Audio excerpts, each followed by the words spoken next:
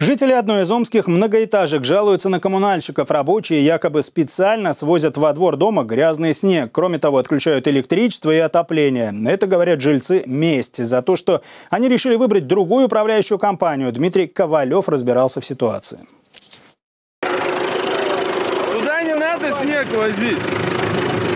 Вот, лука полет. Вы что сюда снег свозите?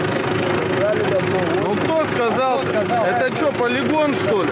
Это видео сняли жители дома номер 12 по улице Звездной. Поздно вечером трактор привез сюда снег. Жители возмущены. Грязные сугробы и мусор в нескольких метрах от детской площадки. Управляющая компания «Полет» занималась очисткой придомовых территорий здесь, в микрорайоне Звездный, поскольку она здесь все дома обслуживает от снега.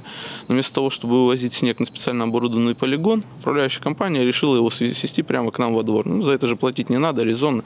Естественно, за домом вы можете наблюдать с этой стороны и с той стороны 10 дома кучи грязного снега снега. Жители считают, коммунальщики им мстят за то, что собственники квартир решили отказаться от услуг управляющей компании и заключить договор с другой организацией. После этого, рассказывает старший по дому, им пытались отключить отопление и наружное освещение. Сразу после конфликта жильцов и управляющей компании в двух подъездах из шести перестали работать лифты. Официально причину отключения никто не объяснил. И только после того, как люди обратились в полицию, лифты заработали.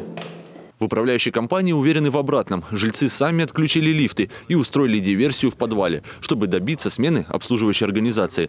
Есть и протокол общих собраний. Вот только экземпляра два. Одни и те же фамилии. В одном из них жильцы выбрали новую фирму. Судя по другому, решили не расторгать договор с компанией «Полет». Коммунальщики уверяют, несколько человек просто хотят заработать на своих соседях. Цель, видимо, гражданина Стрелкова укрепиться на доме, привести управляющую компанию, аффилированную с ним. Собственники указывают, что их подписи были фальсифицированы и пытаются с помощью прокуратуры разобраться и привлечь к ответственности виновных лиц. А снег во дворе – лишь часть работы. Его, как уверили в управляющей компании «Полет», вывезут позже, когда можно будет загрузить самосвалы. Договориться мирно сторонам не получилось. Дело рассмотрят в Кировском районном суде. Дмитрий Ковалев и Дмитрий Головко. Новости здесь, Омск.